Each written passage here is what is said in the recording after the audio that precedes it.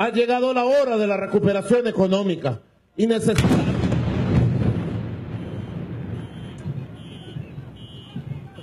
Y necesitamos...